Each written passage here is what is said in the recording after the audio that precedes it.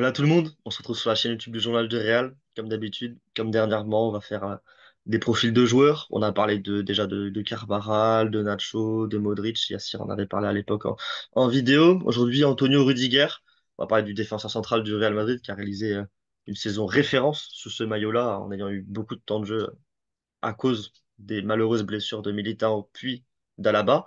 Mais lui a répondu présent, a été le patron de cette défense et euh, a été exceptionnel. Pablo, comment ça va?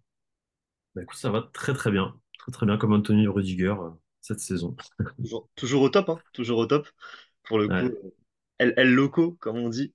ouais, Antonio. ouais, loco. euh. Et le loco, mais euh, le truc là, si t'as un David Alaba et un Militao qui reviennent au même niveau, je crois que le loco il perd pas son pla- sa place. hein. Tu, tu vas, tu manges un peu sur la fin, la fin de la vidéo, là. Tu veux commencer par ça? Comme tu veux, comme tu veux, mais euh, non, mais euh,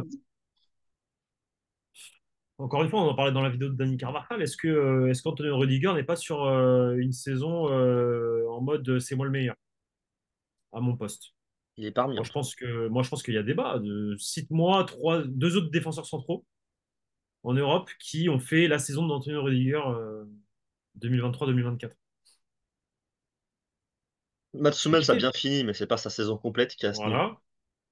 Saliba, pour moi, il peut y avoir une vraie discussion parce que c'est vraiment le patron. À ça? Arsenal, et c'est le patron de la meilleure défense de Première Ligue. Il peut y avoir vraiment une ça? Discussion, ça? Saliba, sachant que le gardien Ah, oui, oui, oui, William parfait. Saliba, ok. Ouais, vraiment une discussion après en Ligue des Champions plus compliquée. Sinon, c'est ça, vraiment, ça compte aussi la Ligue des Champions. c'est pas facile, hein. C'est pas facile, hein. C'est euh, en Espagne, il y a personne. En France, au PSG, euh, En Italie, il n'y a personne. Voilà. En Angleterre, bah, City, personnellement, je suis vraiment pas fan de, de Ruben Dias euh, cette saison. On, on- on- on va dire que c'est Oui, pas la meilleure saison City défensivement, Et encore, je suis quand même pas convaincu mais, plus. Ça a quand même pris plus de buts, par exemple, qu'Arsenal. non, mais le truc c'est que le truc c'est que trop. Antonio Rudiger, Antonio Rudiger a été bon en Liga et en Ligue des Champions. Donc moi, pour moi, c'est le meilleur à son poste cette saison, tout simplement. On pourrait- on aurait pu discuter avec, euh, par exemple, Bastoni de l'Inter, mais le problème, c'est que Ouais, mais exactement. Mais le problème c'est qu'ils ont. sortir en huitième. Voilà. Exactement, Et si on prend exactement. vraiment le succès collectif, si on, donc on attache une grande importance au succès collectif dans cette discussion, Rudiger est tout en haut, quasiment tout en haut, pour le coup. Pour moi, ça a été donc le, le- le joueur qui a apporté une euh, réelle sérénité à l'équipe parce que c'est un super défenseur, qu'il a fait le boulot. Je trouve que ce côté loco qu'il a au Real, il en- ça pouvait être un défaut à Chelsea ou à Stuttgart ou à la Roma ou autre. Depuis qu'il est au Real, euh, c'est une qualité. C'est quelque chose qu'il a réussi à transformer positivement, je trouve. Parce que du coup, on ne voit pas qu'il est plus fou que ça. Alors que parfois, on pouvait voir, euh, ouais, je sais pas, Rudiger encore péter un câble à la Roma. C'est déjà arrivé, je crois, si je dis pas de bêtises, non? Euh, Il a déjà pris des rouges, euh, il a à déjà pris des l'entraînement, même, rouges à ou l'époque même, ou même à l'entraînement, ou même à l'entraînement entre, co- entre coéquipiers, etc. Tu vois, alors qu'au Real, tout est, enfin, j'ai l'impression que tout est carré et tout le monde s'entend. Après, en même temps, tout le monde s'entend bien. Mais il s'est même pris la tête là, à l'entraînement de l'Allemagne, Avec full, si avec, bêtises. avec, avec full, euh, full croc. Mais euh, est-ce qu'il l'a pas chambré pour la Ça, finale de c'est pas, ça, pas que, ça, pas que négatif. Euh, se prendre la tête à l'entraînement, des fois, ça, ça montre Ouais, aussi de vrai. la, ça montre C'est aussi de vrai. l'envie, de la, de compétitivité. vrai, c'est vrai, c'est vrai. C'est pas Surtout que derrière, tu les vois. Surtout que derrière, ils marquent un but face à, à la Hongrie et les premiers qui se prennent dans les bras, c'est les deux, quoi. Ouais. Donc, euh, puis je pense que lui, c'est ça qui est. En fait, parfois, il faut des mecs comme ça aussi. C'est des mecs qui provoquent. Tu provoques ton coéquipier pour sortir le, le, le pire de lui, tu vois, mais dans le bon sens, dans le bon sens du terme, tu vois. Ce qu'il y a de plus mauvais en lui pour justement qu'il, que ce, ce mauvais soit dégagé sur le terrain et qu'il donne tout, entre guillemets. Donc, euh, non, mais euh, et puis euh, non, puis c'est un défenseur propre. Balle au pied, il est, il est bon, il est rapide, il est bon à l'anticipation. Ou à duel, duel sur l'homme, c'est toujours euh, c'est c'est- c'est 9 sur 10, 10 sur 10 à chaque fois. Haaland, on ne l'a pas vu encore une fois cette saison. Euh, forcément, il y a des erreurs, forcément, parfois, il se fait avoir, mais c'est normal, c'est un défenseur central. Ça arrive, moi. Il y a peut-être une légère faiblesse dans le jeu aérien, côté Rudiger. Quand tu vois Peut-être, son peut-être, ouais. physique, quand tu vois son physique, il y a quand même quelques duels perdus que Mm. tu as du mal à le voir les perdre. C'est peut-être sa petite faiblesse. Si on devait trouver un, un défaut à Antonio Rudiger, Notamment contre le Barça. Mais ouais, ouais, notamment contre le Barça. Mais, mais à part ça, si, si tu t'amuses à chercher les erreurs ou les, ou les défauts de, de Rudiger cette saison, bah, tu as très vite fait le tour, hein, pour le coup, parce que ça, C'était vraiment le patron de la défense. Il a eu une petite blessure, si je dis pas de bêtises, en février-mars. Il avait raté trois quatre matchs. Et on avait vu l'absence. Bah, bah, à l'époque où Chouameni avait été en défenseur central, on a quand même senti l'absence du. Même si Chouameni n'avait pas été mauvais, l'absence de ce côté patron, de ce côté confiance, de ce côté. euh, s'il a 3 mètres de retard sur un appel en profondeur, bah, ils sont remontés, les 3 mètres. Ouais. Et Nacho et Chouameni, c'est pas le cas, par exemple. Mais même, par exemple, à là-bas non plus, c'est pas le cas. Côté Real Madrid, Militao, pour le coup, a aussi cette, euh, ce, ce côté-là. Mais c'est incroyable ce qu'a proposé euh, Rudiger cette saison. Euh, Globalement, c'est, comme, tu, comme on l'a dit tout à l'heure, un des meilleurs défenseurs du monde actuellement. Et, euh, et puis, bah, au vu de sa saison un petit peu mitigée l'an dernier, où, bah, il était remplaçant, où les, il avait notamment fait ce match aller contre Haaland, où il avait été incroyable contre City. Et sur le banc au match retour, il y avait ce côté un peu, ce, ce côté presque qu'on n'avait pas, finalement pas vu tout ce dont il était capable l'an dernier. Pas nécessairement de sa faute uniquement, même s'il y a eu un petit temps d'adaptation, mais aussi parce qu'il n'a pas eu bah, les opportunités. Et là, cette saison, bah, avec les blessures, Mhm. il y a eu les opportunités. Et, Clairement. Et comme tu l'as dit, est-ce que Rudiger ne serait pas, ne se serait pas imposé comme titulaire là pour euh, l'avenir, les saisons prochaines du Real Madrid finalement avec cette saison-là? Ah, Là, euh, je suis désolé, mais tu sur le papier, euh, Militao et Alaba, ils peuvent revenir au niveau qu'ils veulent, mais euh, je pense qu'il y a une place pour deux pour ces deux joueurs. Pour moi, c'est aussi fort, c'est aussi fort ce qu'a fait Rudiger cette saison que Militao en 2022. ouais, clairement, mais largement. Ouais, très clairement, très clairement. Non, non, il est sur une saison franchement all-time. Euh, et tu te dis que tout ça pour la modique somme de zéro euro, quoi. Non, mais, vraiment, c'est fort, c'est fort, c'est fort, c'est fort. D'aller chercher un Antonio Rudiger, en plus, c'était une, pétition express de Carlo Ancelotti, je me rappelle, parce qu'il avait fait un match incroyable contre le Real avec Chelsea. Euh, et Carlo, il l'avait dit, il avait, ce joueur, il nous le faut l'année prochaine. Ils ont été le chercher, ils l'ont ils l'ont écouté, et franchement, euh, chapeau. Est-ce que ça va faire la même chose avec, avec, euh, avec euh, Adrien Rabiot? Non, non, je pense pas. En tout Je pense cas, que c'est juste, alors, juste pour, juste pour, euh, pour parler de ça vite fait, je pense que la rumeur Adrien Rabiot, c'est juste une rumeur, euh, une filtration du clan Rabiot pour faire euh, augmenter, non, ouais, pour que en gros la, la proposition de la Juve et la proposition des autres clubs soient plus élevées pour prendre plus d'argent ailleurs. Je pense parce que moi, je, en fait, ça, moi, je j'ai eu aucune info sur Adrien Rabiot déjà, premièrement. Autant les Niro, autant Alphonso Davies, il y a du bruit, mais alors Adrien Rabiot, c'est la première fois que j'entends son blaze. Et, euh, et ce serait une surprise parce qu'en fait, d'un point de vue euh, projet sportif et ce que fait Real Madrid depuis quelques saisons, le dernier joueur qu'ils ont acheté à cet âge-là, c'est Antonio Rudiger, mais c'est parce que le coach le voulait. Là, Adrien Rabiot, il y a, enfin, j'ai jamais rien entendu, même le staff technique, ils n'ont jamais voulu. euh, il n'y a pas de aucune pétition express ni quoi que ce soit, donc euh, Ouais, bah, je suis, je suis d'accord avec toi. Et puis, c'est quand même pas Après, la logique de recrutement actuel du Real. Après, Rabiot est un excellent joueur et c'est ce que ça pourrait dire. avoir, et ça pourrait avoir du sens dans le système C'est ce que c'est ce que j'allais c'est ce que j'allais dire, c'est qu'après après ça peut avoir du sens. Sur le pour ça terrain, que ça ça, purement trouve. terrain tactique, ça a du sens. mais Ça se trouve, ça se trouve, ça, ça se trouve, ça, ça n'a pas filtré en Espagne.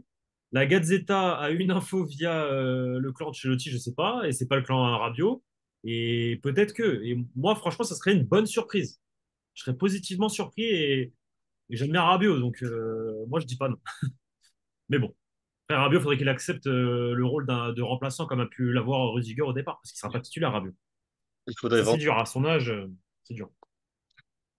Moi, j'ai une question pour toi. Parce qu'on parle du coup que Rudiger a peut-être euh, cimenté sa place de titulaire pour la saison prochaine. En plus, Alaba va rater la préparation, devrait rater peut-être potentiellement le, début de saison aussi. Donc Rudiger sera titulaire là, jour 1 euh, au Real Madrid l'an prochain. Et va le déloger, hein, va le déloger Antonio Rudiger. Moi, le seul problème que j'ai, c'est que Rudiger, Militao, l'association des deux n'a jamais vraiment fonctionné. Parce que c'est deux défenseurs qui ont un profil assez similaire. C'est deux défenseurs qui sont et qui n'ont bah, qui n'ont pas vraiment fonctionné ensemble, je trouve.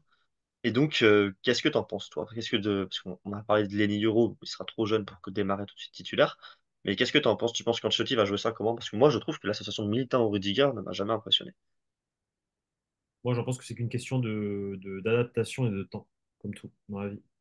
Euh, La Tu vie penses est qu'on faite n'est pas tous de, les deux à force de... Ouais, je pense que si les deux ils jouent en- à- ensemble à force, à un moment donné, ils vont s'entendre, ils vont se comprendre.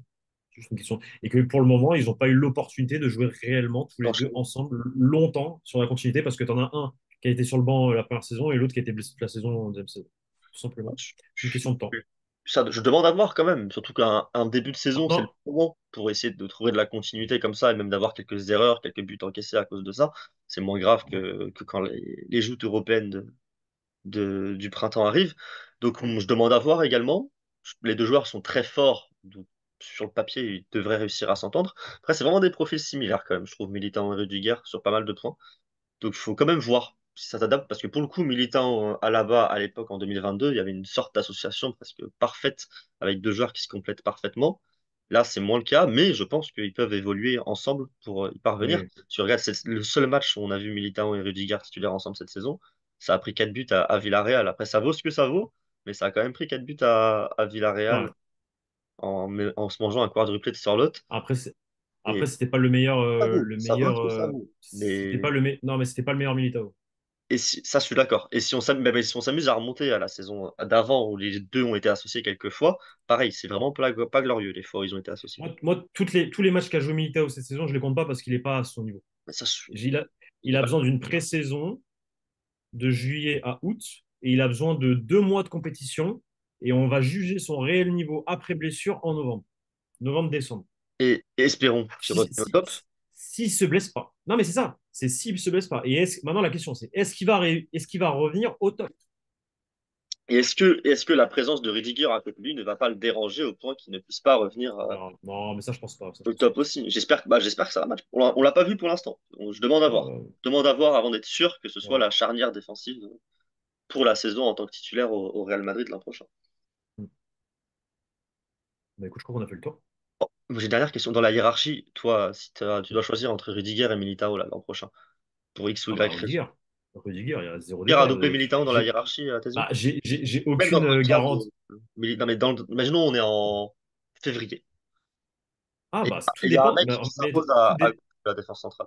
Tu dois choisir entre les deux. Mais en gros, que Militao a retrouvé le niveau d'antan. euh, Les deux, les deux sont, les deux sont, on a- Les le deux sont au top. y a deux ans et le Rudiger de la saison dernière que tu as sur. Alors, Mais ça marche pas entre sans- deux. C'est Alaba qui est à côté parce qu'il est revenu, il s'est fait une seconde jeunesse. Qu'est-ce que tu choisirais dans la hiérarchie? C'est dur, hein? moi, moi, le truc- non, mais moi, le truc, c'est qu'à la bas, il va pas revenir à son niveau, en fait.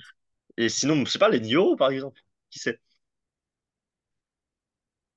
Euh, mais je vois, pas- en fait, je vois pas pourquoi les deux s'entendraient ça, les deux. J'arrive pas, j'arrive pas à imaginer un monde où les deux n'arrivent. À partir du moment où les mecs ils jouent, euh, ils jouent 3-4 mois ensemble, ils vont se comprendre. C'est, Ah, ils sont pas bêtes, ils sont pas bêtes. C'est des, Non, joueurs professionnels, ils savent pas ce que je dis. Euh, Mais des fois, il y a des, il y a des mecs qui sont pas faits pour jouer ensemble. C'est des choses qui arrivent. hein. C'est des choses qui arrivent. bah, on disait ça pour, pour Toni Kroos et Kamavinga, et finalement ils, ils- ils ont pris un an adaptés. à Et... comprendre. Ils ont pris un an à comprendre. Et espérons que ça. Et espérons, même si en défense centrale c'est peut-être un peu plus simple, espérons que ça prenne pas un an à Rudiger et Militao de comprendre comment jouer ensemble. Parce que ce serait un peu, ce serait un peu long. Ça, ne peut pas prendre un an à partir du moment où ils s'entraînent tous les deux, tous les deux ensemble depuis deux ans. Ça peut prendre deux, trois, ça peut prendre deux, trois mois, mais ça prendra pas un an. Et Je pense qu'il y aura un temps d'adaptation en tout cas, mais par contre, j'y crois quand même. J'y crois évidemment, ne serait-ce que parce que le, le niveau des deux bonhommes et ce qu'ils ont déjà montré sous ce maillot euh, prouve qu'il n'y a pas de raison que- qu'ils ne soient pas trop forts ensemble, même s'ils ont été que trop forts individuellement pour l'instant et pas exceptionnels ensemble. Ok. Dites-nous, tu veux mettre une petite note à la saison de Rudiger euh, aussi? Bah, Rudiger, c'est dans la même veine de, de Carvajal, 9 sur 10. Ouais, je suis d'accord. Je suis d'accord, c'est 9. Je pense qu'il y a, il y a- on va dire qu'il y a trois quatre joueurs qui méritent 9 au Real. J'aurais peut-être un 9,5 un petit peu plus tard sur un, sur un autre bonhomme, mais ça, on, on en reparlera. Non, pas, pas le droit de mettre des ennemis. Pas le droit de mettre des ennemis, mais je veux pas mettre 10. T'es obligé, il faut, faut choisir. Je vais descendre à à 8 tous les, tous les mecs à qui j'ai mis 9, alors je vais faire une hiérarchie, moi. Non, non, faut, tu pas, le droit de mettre 10, hein. Rien. Bah écoute, on verra alors s'il y en a un qui 10. méritera son 10. Merci à vous d'avoir regardé cette vidéo jusqu'au bout. Dites-nous en commentaire ce que, ce que vous avez pensé évidemment de la saison de Rudiger, ce que vous pensez aussi de, de cette association Rudiger-Militao, de de la hiérarchie qui a évolué sans doute avec la saison incroyable d'El Loco. Et puis on se retrouve bientôt pour parler, très bientôt même, pour parler d'un nouveau joueur qui a disputé cette dernière saison sous le maillot du Real Madrid. Un petit peu sur les titulaires en ce moment, donc vous pouvez vous attendre à sans doute un titulaire en prochain. On se retrouve très bientôt. Merci à vous d'avoir regardé jusqu'au bout et merci à toi Pablo et salut à tous. Ciao les gars. Ciao les gars.